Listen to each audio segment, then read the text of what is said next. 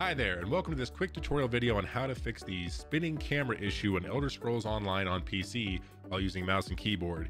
If you're like me, you've had this issue, and I've had this issue for over a few years now playing the game uh, on and off, and I've been playing the game since release, and this issue seemed to occur um, probably in the last, I don't know, four or five years for me. Early on, I never had the issue, so I'm not exactly sure what it was, but after doing some research and uh, doing multiple things trying to fix the issue that did not fix the issue, I did find that it appears to be something with maybe your monitor's refresh rate, uh, the frame rate you have set in the game.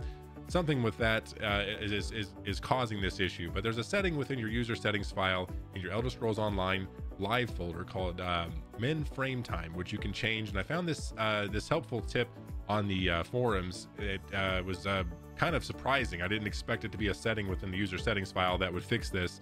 Uh, but I've done this uh, three days ago.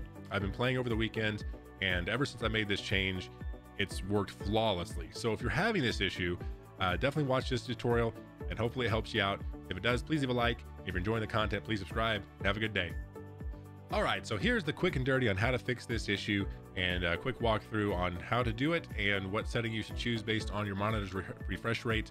Um, big shout out to Attorney at Law on the uh, forums at elderscrolls.com. Hey, this is what I stumbled across on Friday, and this is the setting I changed that fixed my issue. So if you're having that issue, just follow along with this quick tutorial, or of course I'll leave a uh, link in the description below the video if you want to go straight here and follow their instructions. Totally up to you.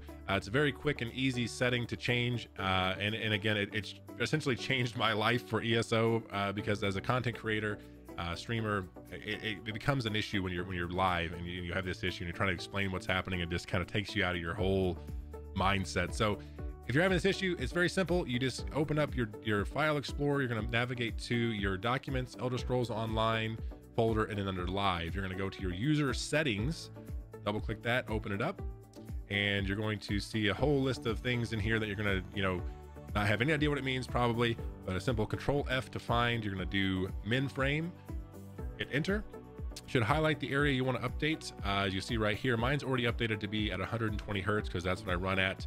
Um, but yeah, there's different settings based off your refresh rate on your monitor, how many frames you have maybe set in the game to run at. Uh, again, it goes 30, 60, 96, 120, 144, and each of these are going to be, uh, you know, for each setting. So it's very simple. You just simply, this is default at 1.000000. You simply highlight, delete, copy what you want to you know, use. So 120 hertz, I copied this particular portion here and you simply highlight and paste it there and make sure you hit file and save and you're done. Open the game up and you should no longer have the issue with the uh, the camera spinning randomly out of control when you're when you're running around on Elder Scrolls Online on PC using a mouse and keyboard. Uh, this was huge for me, and again, it's been working for me the last three four days after I've done this. Uh, so very happy I stumbled across this, and I hope this tutorial helps you out. If it does, please leave a like. Hope you're enjoying the content. If you do, subscribe to the channel. I'd appreciate that. And have a great day.